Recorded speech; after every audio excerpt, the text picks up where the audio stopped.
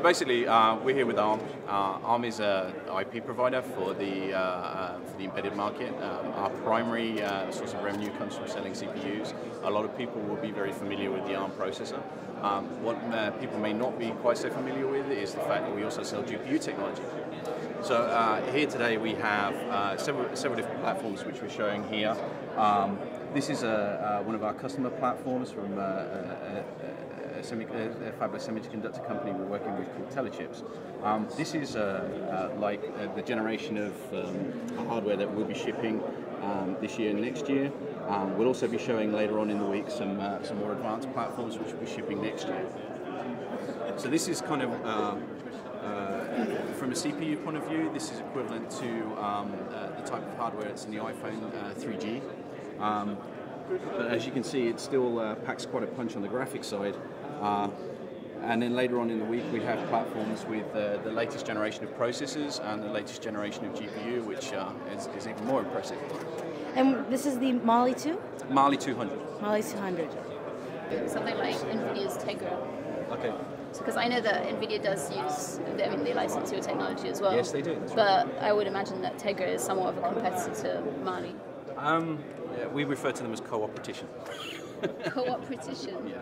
yeah. Um, they're, uh, they obviously license technology from us. Um, they're not in direct competition with ARM. Uh, ARM is an IP provider. We sell to several different, um, uh, several different uh, semiconductor companies. Um, uh, in fact, we sell to most of the semiconductor yeah. industry.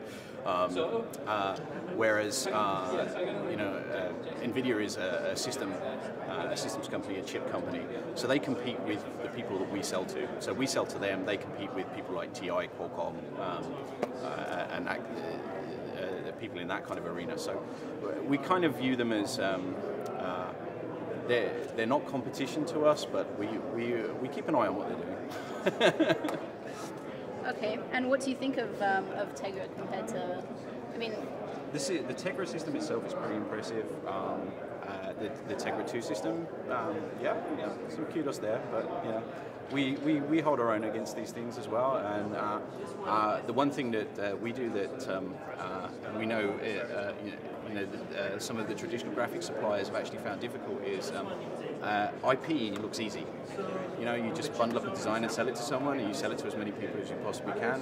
It's not as easy as it looks. Um, ARM has a, a, lot of experience in the IP arena. We've been doing it for a number of years. In fact, we pioneered the IP, um, the IP process and selling uh, high-end technology as, as, pieces of IP block and how to support that through um, through silicon to bring up uh, people's chips and then supporting that through the software ecosystems.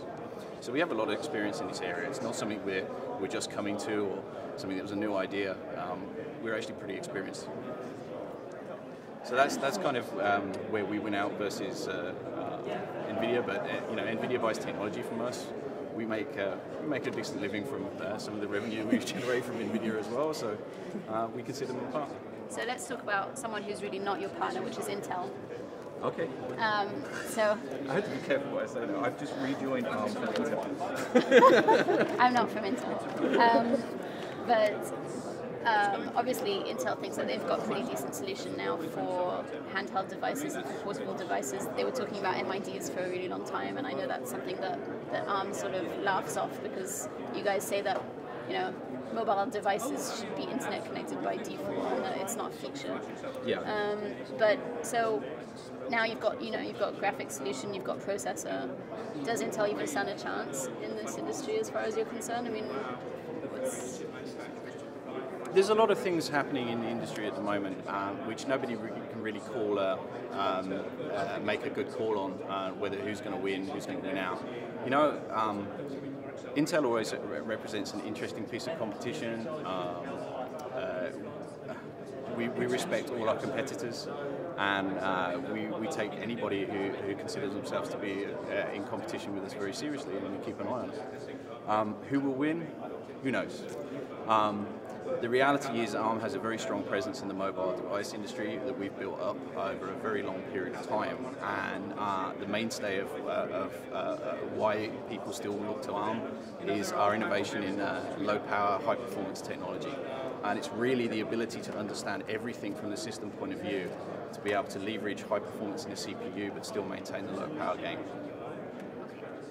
Great, well thanks very much for that.